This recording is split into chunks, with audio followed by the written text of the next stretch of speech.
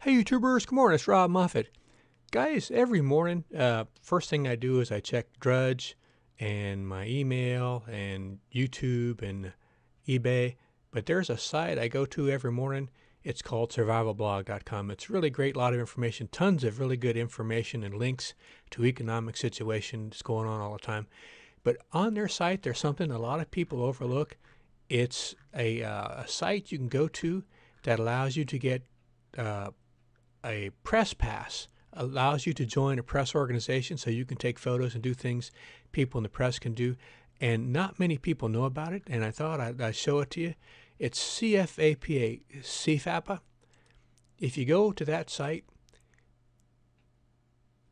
this is the site for CFAPA. It's free. You can join and become a uh, internet uh, uh, journalist.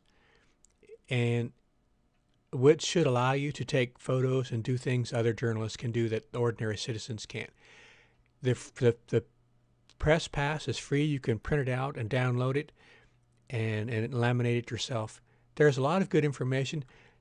Also, they have some wonderful videos you want to watch about people being denied their rights here in America. In other countries, things are pretty terrible. They don't have the laws we have.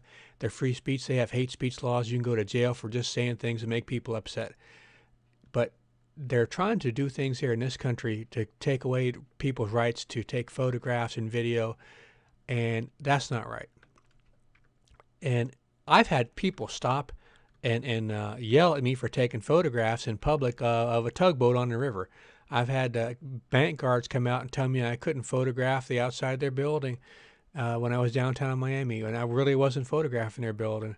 It was just the the, the landscape of all the buildings together in the city, and it's just it's getting too much. I don't want to end up be like Europe where they can't do things we can do here. It's getting pretty bad over there. But if you go to CFAP, you can download the press pass and you can join the organization for free. They do take donations, but there's a lot of other stuff here.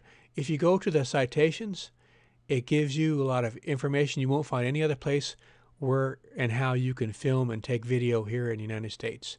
If you go to this part here in your own state, you can check out what the laws are in each area that you live in.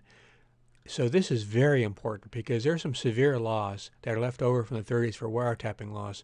If you uh, take tape audio, you can go to prison sometimes some places. You want to be very careful.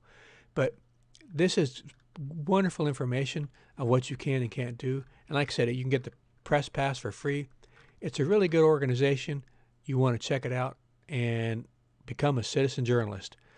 I think it's something everybody ought to do. Put that press pass in their wallet, laminate it, if they're taking pictures or doing something, they won't get in trouble. Or if they do, they have something to back them up called the Constitution.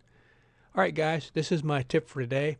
Hope you check out CFAP. I hope you check out Survival Blog too. It's a great site. I watch it, read it every morning. Take care, guys.